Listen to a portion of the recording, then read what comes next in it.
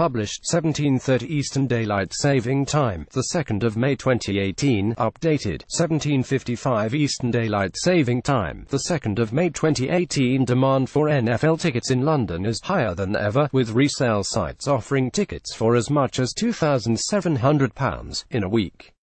That has seen the chances of a UK-based NFL franchise increase dramatically following Jacksonville Jaguars owner Shahid Khan's bid for Wembley. Tickets are being sold for 23 times the original price. Three games will be played at the London Games this autumn, with tickets for the two Wembley matches already selling for joke amounts. Tickets for the fixture between Seattle Seahawks and Oakland Raiders at Tottenham's new White Hart Lane Stadium have not yet gone on sale. Resale sites are offering NFL tickets in London for as much as a staggering £2,700. NFL UK, which is organising the three games, responded to backlash from fans on Wednesday, saying that they are taking steps to eliminate touting. However, they were accused of shrugging off the problem, with several fans saying that tickets were sold out shortly after they went on sale on Ticketmaster but were instantly available on sites such as StubHub and Viagogo for inflated prices.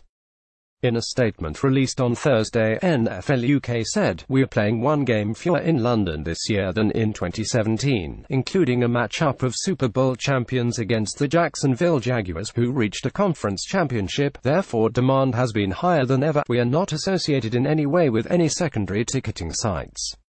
We do not allow any placement of NFL tickets directly onto secondary ticketing sites. All of our tickets are sold in the first instance to the public and fans, after Shahid Khan's bid for Wembley. Tickets are being sold for 23 times the original price. The overwhelming popularity for this autumn's games is likely to boost Khan's confidence that buying Wembley would be a good investment.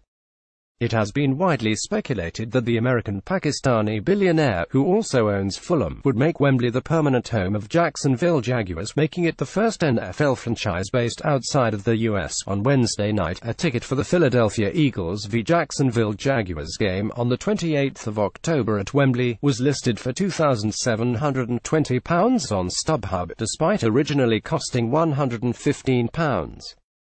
Three games will be played at London Games, with two at Wembley and one at White Hart Lane in Viagogo, another secondary site. Tickets were being listed for £2,200. Tickets for the Tennessee Titans v.